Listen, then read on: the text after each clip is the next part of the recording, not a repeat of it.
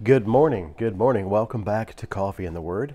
Happy Friday. It's Friday the 13th. Oh, it's Friday the 13th. you know, that's a, that's a, uh, there's always negative connotations with Friday the 13th, but my first daughter was born on a Friday the 13th, so it always makes me think of that. So awesome. Awesome. All right. Well, grace and peace to you from God our Father and the Lord Jesus Christ. I hope and pray that you're all doing well. Oh, that's good. Um, my new favorite is this taste of DFW. Oh, it's good stuff. Good stuff. Oh, all right. Well, let's get to the readings today.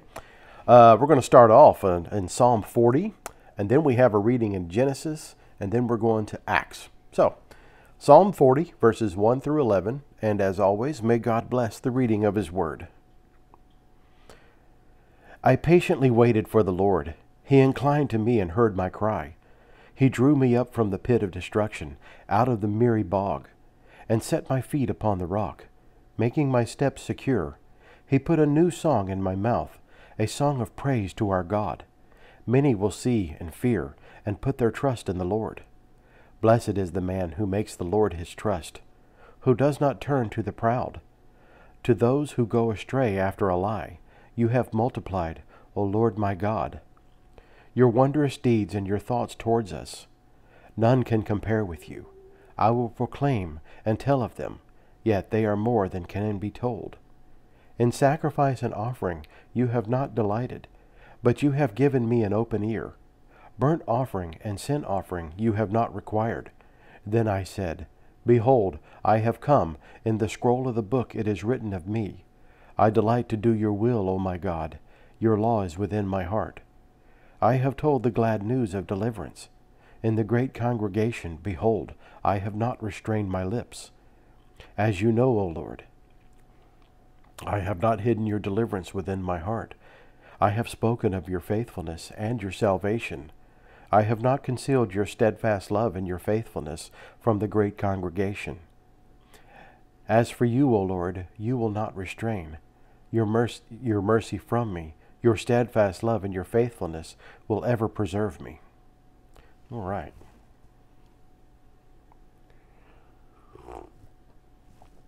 Uh, excuse me.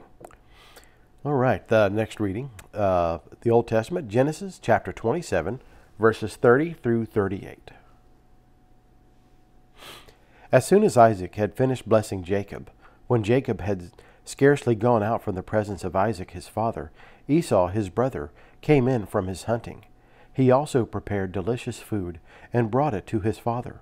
And he said to his father, let my father arise and eat as his of his son's game, that you may bless me. His father Isaac said to him, Who are you? And he answered, I am your son, your firstborn Esau. Then Isaac trembled very violently and said, Who was it then that hunted game and brought it to me, and I ate it all before you came? And, and I have blessed him. Yes, and he shall be blessed. As soon as Esau heard the words of his father, he cried out with an exceedingly great and bitter cry, and said to his father, Bless me, even me also, O my father. But he said, Your brother came deceitfully, and he has taken away your blessing. And Esau said, Is he not rightly named Jacob? For he has cheated me these two times. He took away my birthright, and behold, now he has taken away my blessing. And then he said, Have you not reserved a blessing for me? Isaac an- answered and said to Esau, Behold, I have made him lord over you, and all his brothers I have given to him for servants. And with grain and wine I have sustained him. What then can I do for you, my son? Esau said to his father, Have you but one blessing, my father? Bless me, even me also, O my father. And Esau lifted up his voice and wept. Mm. All right. Next, we're going to the uh, New Testament, uh, Acts chapter 1, verses 1 through 5. There we go. In the first book, O Theophilus, I have dealt with all that Jesus began to do and teach until the day when he was taken up, after he had given commands through the Holy Spirit to the apostles whom he had chosen. He presented himself alive to them after his suffering by many proofs, appearing to them during forty days and speaking about the kingdom of God. And while staying with them, he ordered them not to depart from Jerusalem, but to wait for the promise of the Father, which he said, You heard from me, for John baptized with water, but you will be baptized with the Holy Spirit not many days from now. And this is the word of the Lord. All right, we'll go to the Pray Now app and read the prayer of the day. Let us pray.